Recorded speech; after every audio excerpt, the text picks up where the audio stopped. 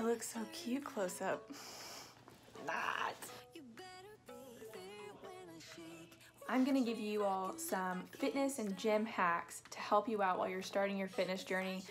Maybe you haven't started or you're about to start, so let's go ahead and hop into it. Hack number one, get yourself out there. Have confidence. I have so many men and women come to me and they say, you know, how did you get yourself in the gym? How did you start out? I had that fear just like anybody else and I went out and I did it. And I remember walking in and seeing like all the football players or buff guys just like standing in front of the mirror with all the dumbbells and I was supposed to use dumbbells in my workout and I was just like, no. And so I would just grab the little hand weights and like go pump them over there and hand weights and you're not gonna get far pumping little eight pound weights, okay? Go over to the dumbbells with the guys and show them up, okay? In life, you're always gonna have somebody that's going to sit there and judge you. Like you can't avoid it, that's just how people are. Everybody started at the same place and right now you're in the beginning and that's okay. Nobody cares what you're doing in the gym. If anything, they're probably checking you out. Hack number two, don't follow diet fads. They are not gonna help you reach your goals. Sure, I mean, there's paleo, whole 30, keto, what else? Uh, there's intuitive eating, intermittent fasting, there's IIFYM if it fits your macros. Do what works for you, whatever works best. I used to track my macros and do IIFYM. I tried intermittent fasting, not for me. Now I just do intuitive eating, which is basically eat when you're hungry, stop when you're full. I watch my carbs, fats, and proteins, but I don't track my macros anymore.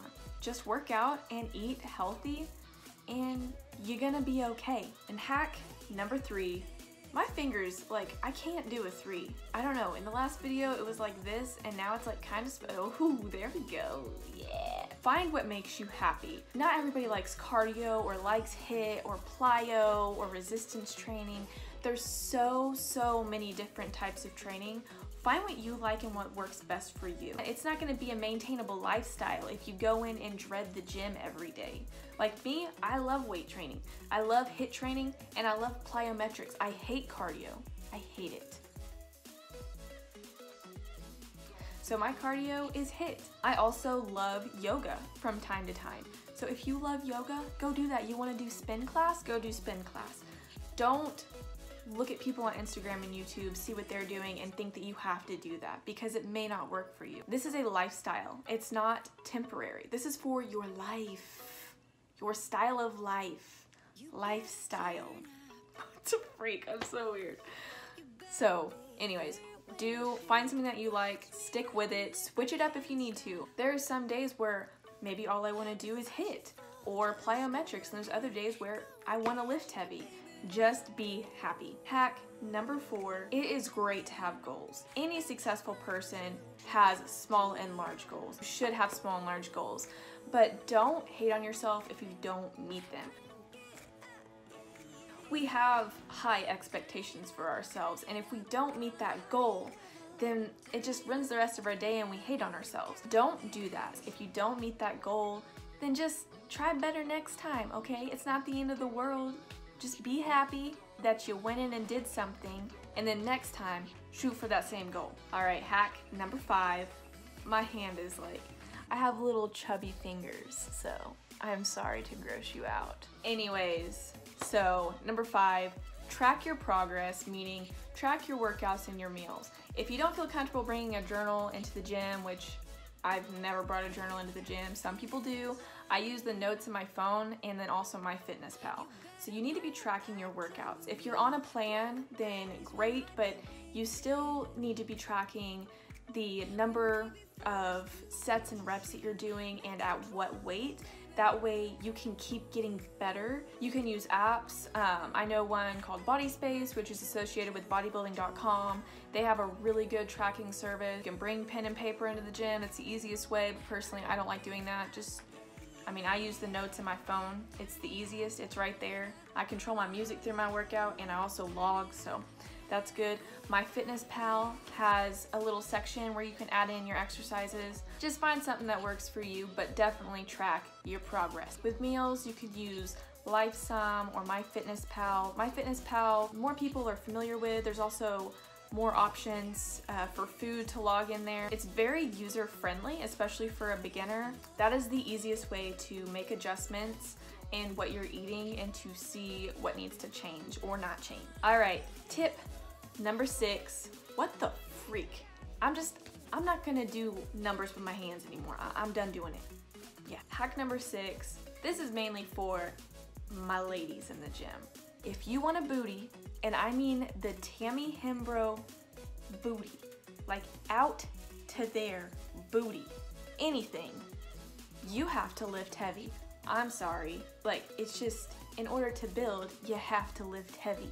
I, when I first started out, I thought that if I went into the gym and I lifted heavy, that I was gonna get like really big and muscular and look like a man. Myth. Huge, huge myth.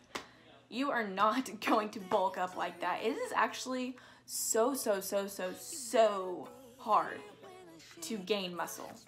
I mean, genetically, some people, like I can gain muscle really easy in my legs, but I'm just saying, you are not going to bulk up like a man just because you lift heavy. If you want that booty, you are gonna have to lift it heavy. I mean, like five to six reps close to your max kind of heavy. This one is especially for my beginners.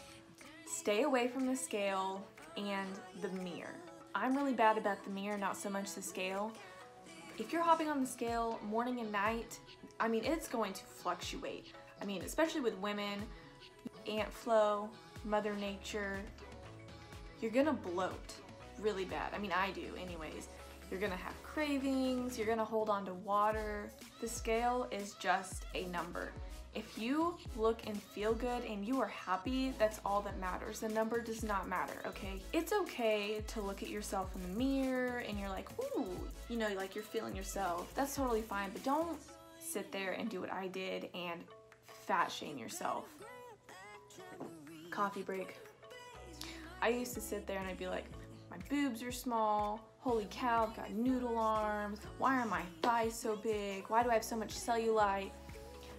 It's not okay. You need to look at yourself and be like, wow, I'm making progress. Who is this girl? Who have I become? The best way to track your physical progress, take pictures. Take front, back, side, upside down pictures, whatever you want to do. And four weeks later, take the same pictures and look at progress that way. Hack number seven. Seriously, I needed this one when I was starting out. Holy freaking cow. Take baby steps, okay? Don't go all gung-ho in the beginning. You need to take it slow. It is great to pick up new things, push yourself out of your comfort zone, start your fitness journey, stick with it. But what happens to so many people is they get so excited on a healthy lifestyle that they go on Instagram, Pinterest, Twitter, Facebook, YouTube, whatever. It's great to have idols and go and get ideas and try new things, but when you're first starting out and you are taking on all of this new stuff at once, you are going to burn out. Okay, I was the person, I cleaned out my fridge, my cabinets, I went to the store, got all new stuff, went and got all of these new workout clothes, and I went hard in the gym. I mean like, holy cow. And I ended up getting burnt out and I didn't want to do it anymore. You need to make a maintainable lifestyle for yourself. Meet little goals. Don't change your diet all at once. Okay, just implement healthier things in until you find a healthy balance that works for you. Because I want you to stick with it. I want you to live the healthiest life that you can, and you can't do that if you burn yourself out and you're not happy because that's not maintainable. Hack number eight you need to find a free training session or maybe something on an app. There's the Sweat app by Kayla. On Body Space, tons of trainers put uh, workout plans on there for you guys. There's free content all over Instagram and on YouTube. Gosh, this thing is really itchy. If you have the money to hire a personal trainer, hire one two to three times a week for maybe three months or permanently. That is a great, great, great way to get you into shape and help you learn the basics the basic knowledge of fitness and nutrition.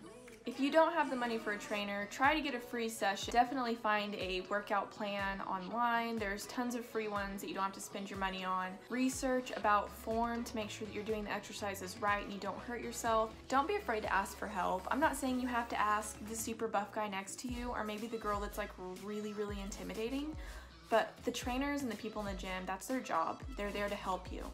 Ask them how to use the machine, ask them if they can show you how to do the movement, ask for a spot if you're afraid to do it by yourself. Don't skip out on that movement or exercise just because you're scared, okay? You're in there to get better and they're there to help you, so don't be afraid to ask for help. All right, so hack number nine, have a plan beforehand.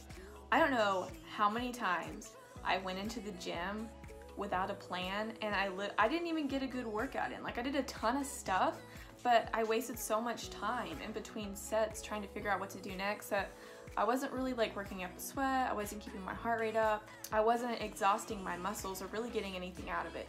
So what I do now, I am a certified personal trainer, so I have experience and knowledge on how to make my own workouts. I write down my workouts in my notes on my phone before I go into the gym.